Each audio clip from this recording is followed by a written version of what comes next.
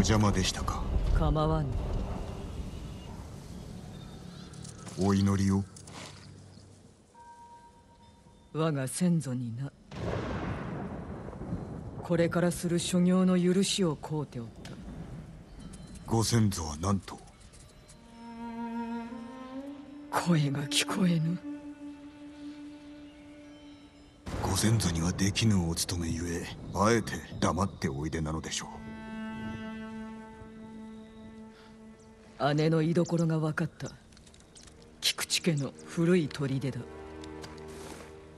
ご出立を？もう香を切らしてしまったからな。祈りをあげられぬ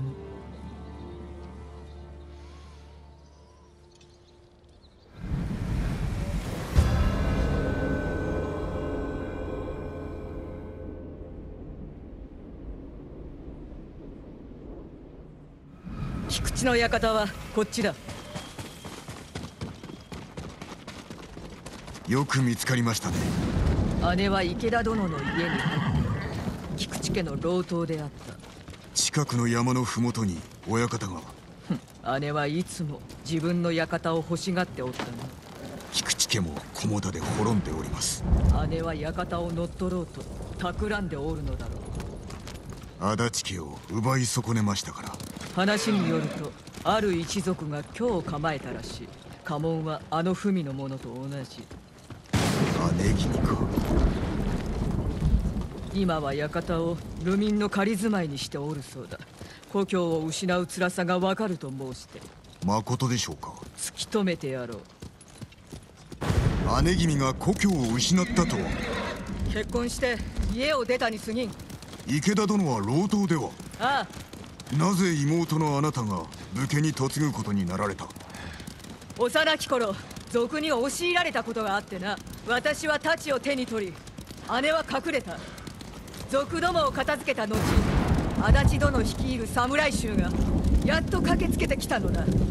姉は一目で足立殿を気に入ったようだが見初められたのは私の方。嫉妬の末に裏切りに行き着いたのか？昇進を癒してやりたくて池田殿との結婚を後押しし姉は北へ嫁いだ。池田殿とはお知り合いでしたか？前妻に先立たれたが優しき男と評判であった。優しさなどいくらでも取り繕えます。何を申したい？なぜ姉君は今になって復讐を企てたのかわからないのです。これだけ分かっておればよい姉は我が一族を殺し今日その報いを受ける。姉君が裏切る兆しは？近しい間ではなかったがお互いを思い合っておった。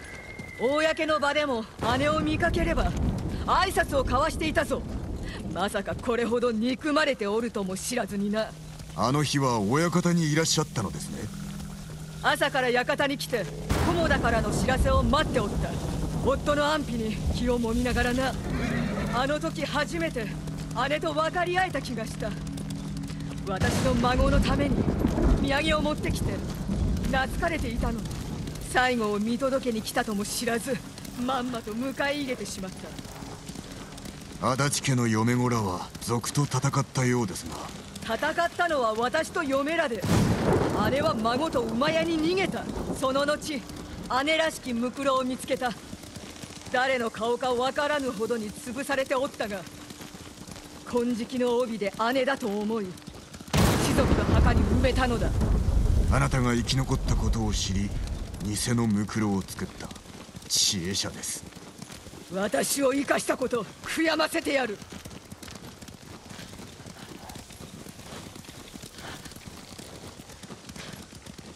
もう着くぞ馬を降りろ。ここからは歩く。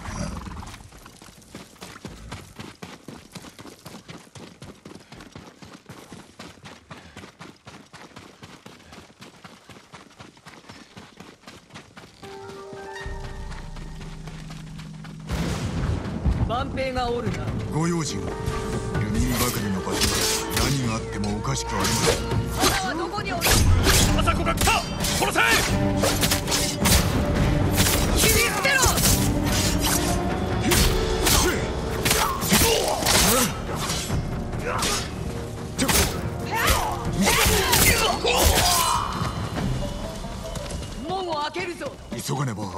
ば新手が来ます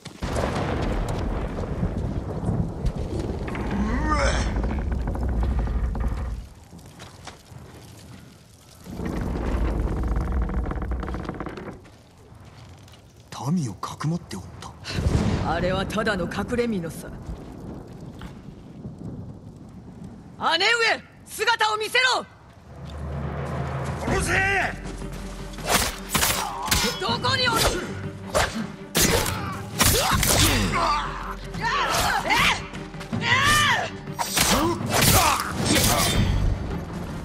援軍です。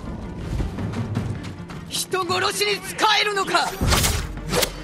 出てこい！者！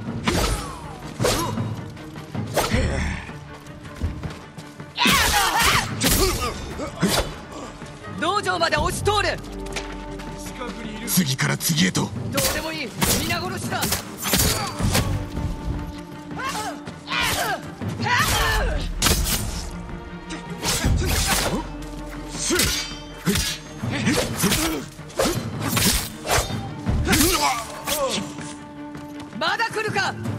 と殺して終わらせるぞ。行け。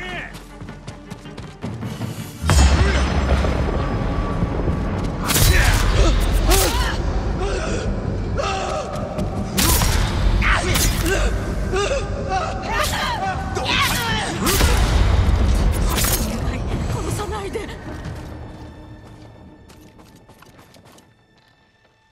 花はどこだ？山の上の館です妹が会いに来たと伝えろ。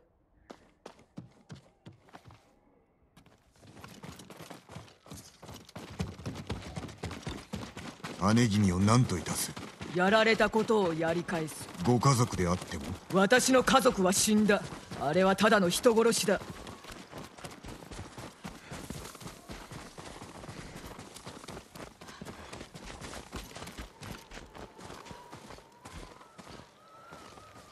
姉上さあ出てこい。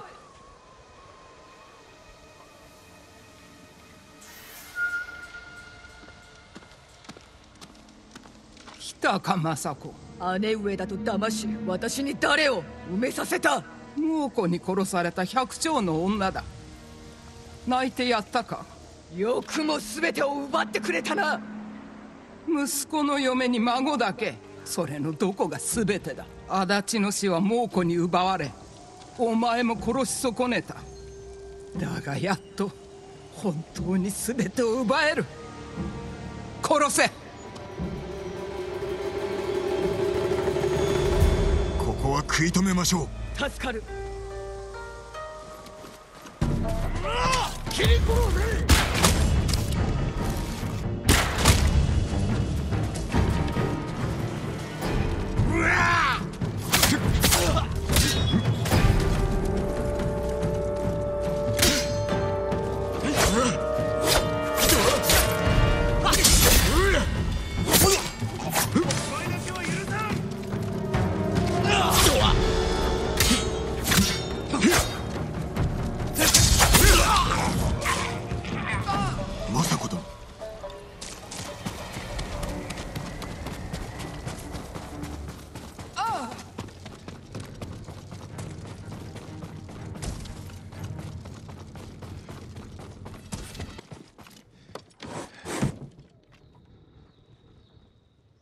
よくも息子の嫁を幼い孫を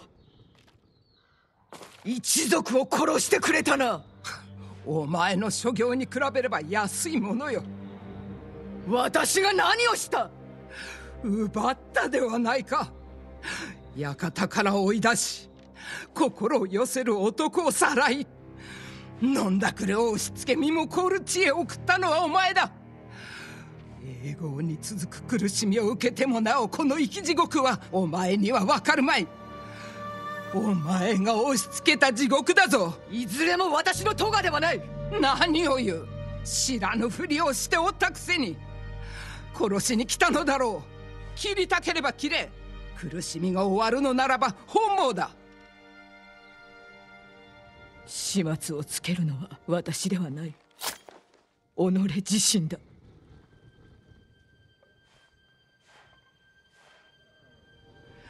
お前も地獄を味わえ。あ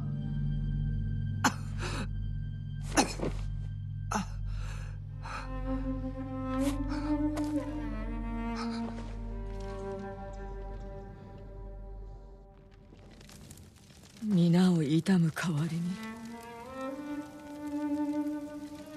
笑い合って過ごした日々を心に浮かべようと努めたが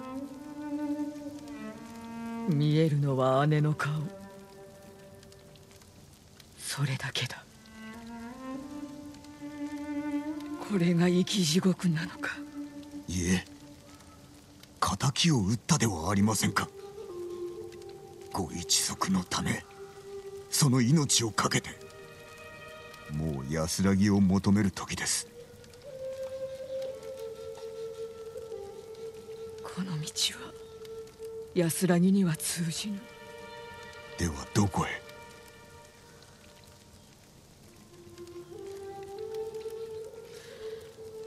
どこであろうな。このまま歩みを進めれば。わかるであろそれは修羅の道です。うもう遅い。だがお前が呼ぶなら手を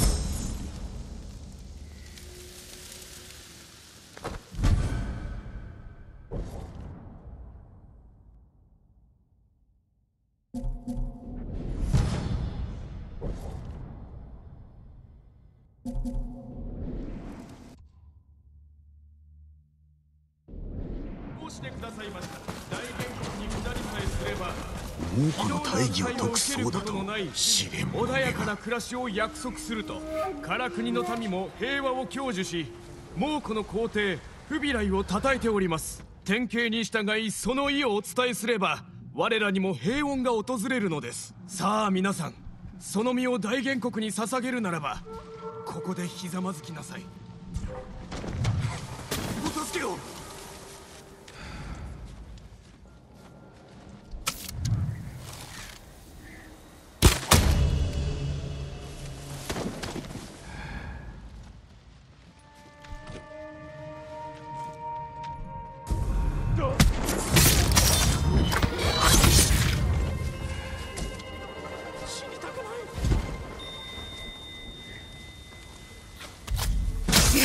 何をしたと言うんだ切りはせぬ。猛虎を称えておったな。見返りは何と約束された。断れば殺されるだけ今は守り手の弟だけが頼りです。ノリオを知っておるのか？戦自宅をしております。お連れいたしましょう。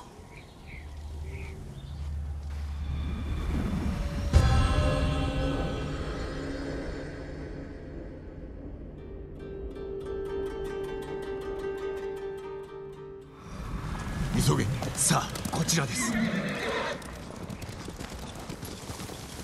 あれはノリオが知ってのことか杉寺を奪い返すまで猛虎に疑われぬよう従うふりをしろと。あやつが言ったのか。ええ。あなたを手本にしたと聞いています。クロード様から学んだことをよく話していますよ。道中様クロード様です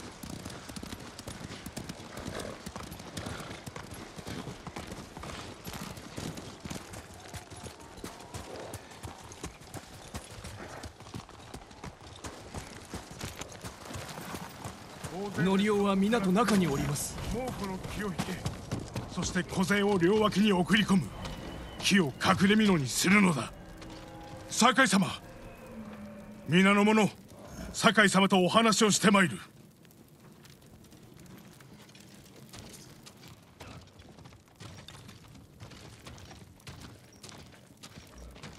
よく来てくれました。こちらへ。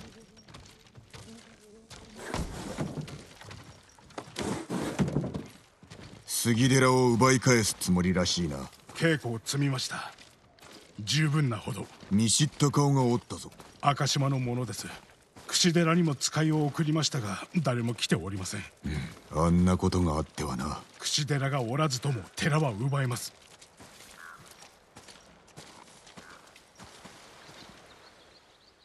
あやつらが戦えると思うか。我らで事足ります。ならばなぜ巻き込む？杉寺を奪えば戦に加わった各々が島中に話を広める希望の使いとなれます。それは我らではできぬこと。皆の力で勝たなければなりません。いつ攻め入るのだ？夜明けに仕掛けます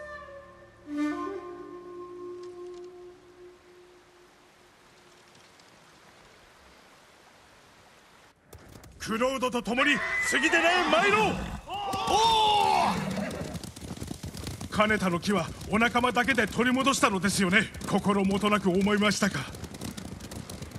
死の恐怖とは痛みや知らぬ者への恐れでしかないと学んだ。宗平も同じように考えます。特に兄は。里い方だったのだな。兄にもいてもらいたかった。そばにおるはずだ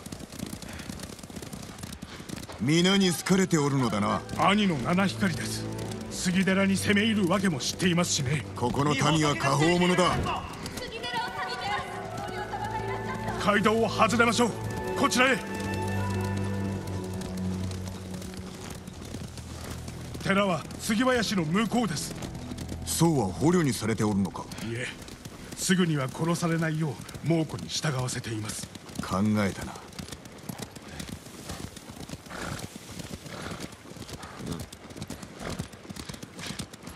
間もなくです。息を吸え。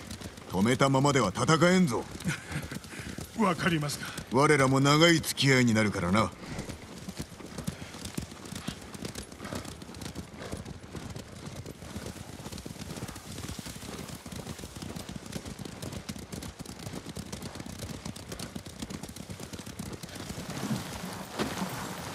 ノリオクロード様。急ぎ駆けつけました櫛寺が味方とは心強い。杉寺と明石は櫛が一つにまとまりました。山門から攻めるのか？はい。その隙に両脇から敵を囲みます。俺はどうする？あなたは策に構わず思うままに戦ってください。みんな離れずについてきてくれ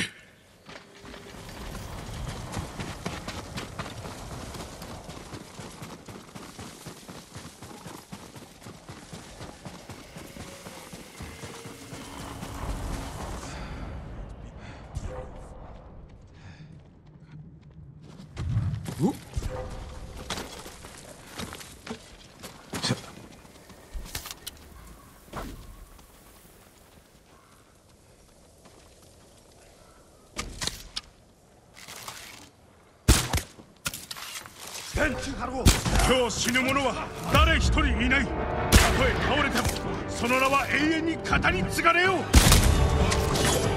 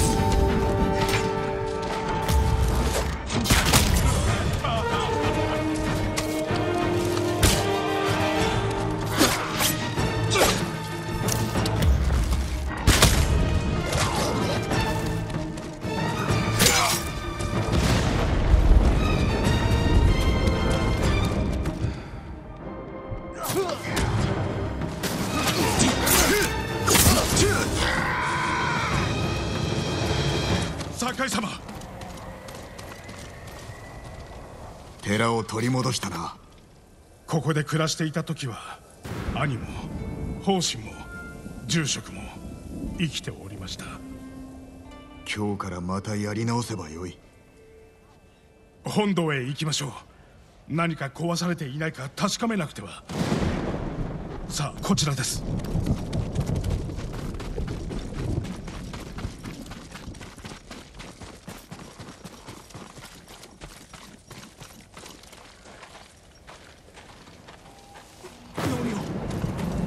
酒井様どうしたこの中に入ってはなりません。何があるというのです。いかなる害を受けても失うわけではありません。外側は無事のようですね。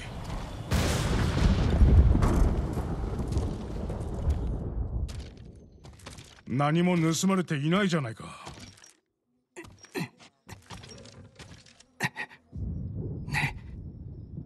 ノリオ兄さん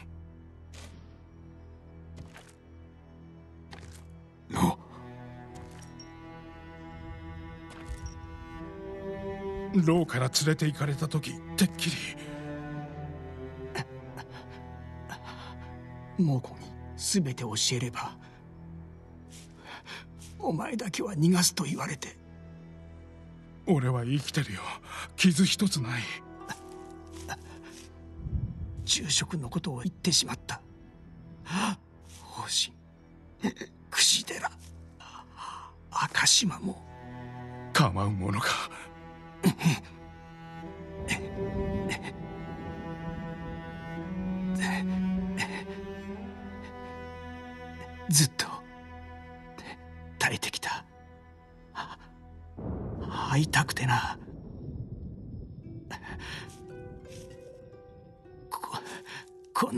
姿で生きられない。生きてくれ。ノリを頼む。やれ。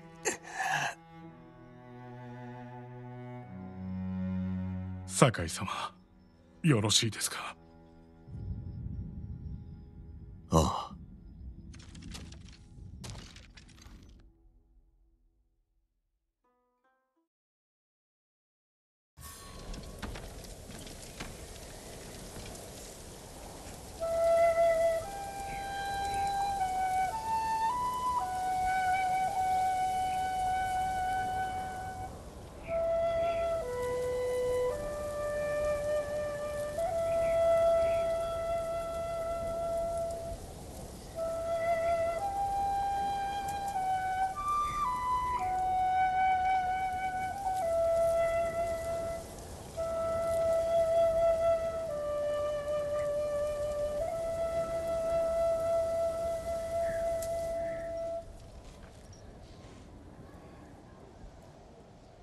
ハーチという名だそうです。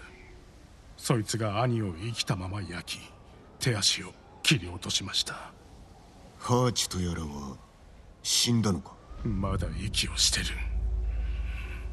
ノリオ兄君は守り手らしく勇ましく死んだ。どこがです？ハーチュの所在は私が突き止めます。その後手を貸してくださいいいだろう。雪が降りやんだら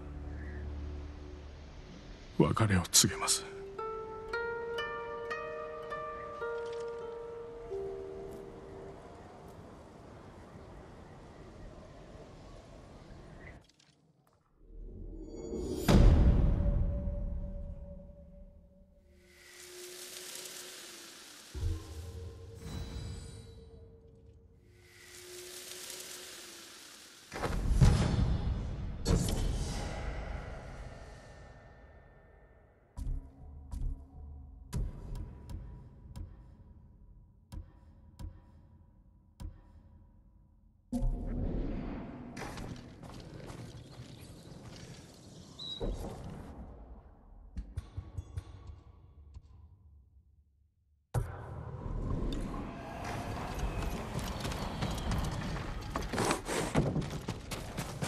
酒井様いかがなさいました？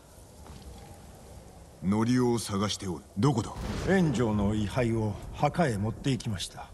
南の山の上です。探してみよう。助かった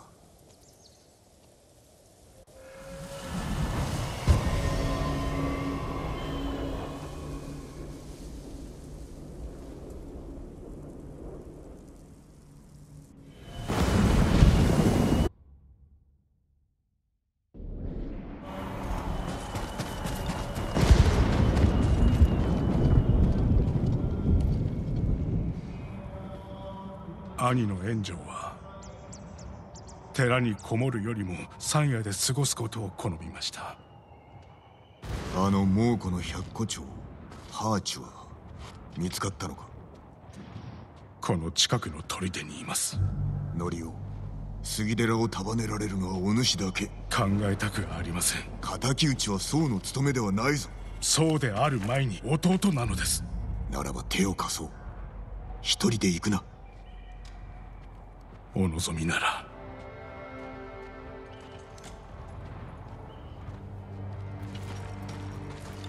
ハーチはどこだ？小児砦に。そやつで間違いないのだな。必ず探し出して慈悲を壊せます。聞く耳は持ちませんが。もし立場が逆であれば炎上は敵討ちを控えるように思う。つまり私が死に兄が生きていたらということですかその方が良かったのに。俺が代わりに切ろう。杉寺へ戻れ。私が決めたことです。だが同じ鉄を踏むなよ。同じ鉄。あなたと。この戦で変わってしまった大勢の鉄だ。私もすでに変わっています。この先で証人砦を見渡せますあなたに教わったことを生かしてハーチを追いました。人相はわかるか？その辺の猛虎と同じ人殺しの顔です。機会は一度しかないぞ。一目見ればわかります。奴を見つけたら迷わず切り伏せろ。犬め！ここから離れろ！ノリオ腹が減ってるだけなんです。どうか命だけは！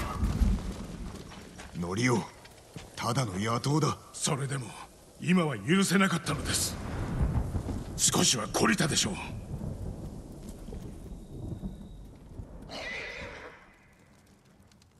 進めば浄土に往生し引けば地獄に沈むのみ。今のは兄がこの薙刀に刻んだ言葉です。櫛寺を賊どもの手から守った後に。守り手になった時か。炎上の苦しみは計りがたいがお主に会うため耐えたのだ兄は最後にこうつぶやきました。間違っていたと。何がだ？わかりません。ハーチュに最後の言葉はない。苦痛の叫びだけだ。休んでおいた方がいい。明日のために。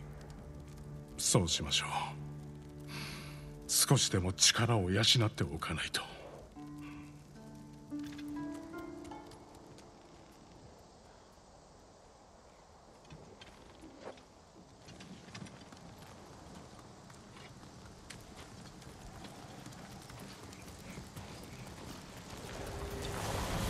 ノリオどこだ？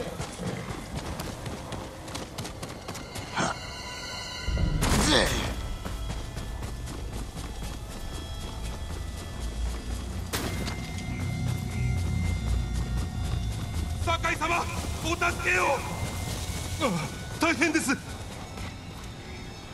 何があった？ノリオが見かけた時は祈りが届いたと思ったのですが。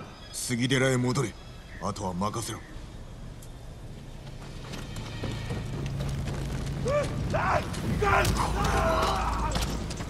地獄のようなありさまだ。誰の所業だ？ノリオです正気を失ったようで。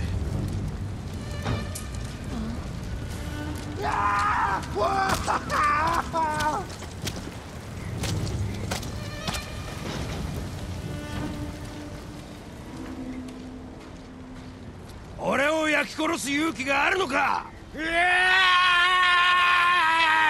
燃えろ！その罪ごと燃えろ！人殺しめ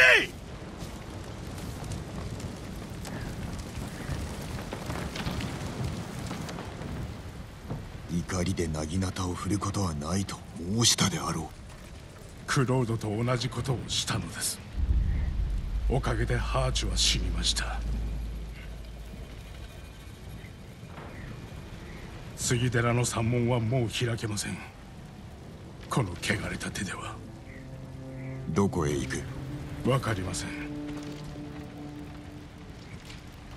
火をつけた時奴はまだ生きていました私は叫び声を聞きながら喜びに包まれた。猛虎と同じです。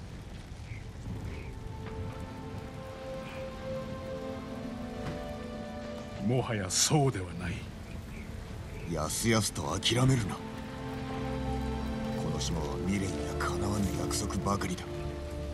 だが守らねばならん。お主は杉寺最後の僧兵であろう。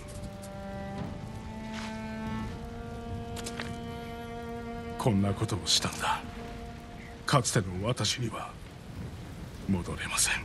元に戻れとは言っておらん。お主が信じた道からそれず進んでほしい。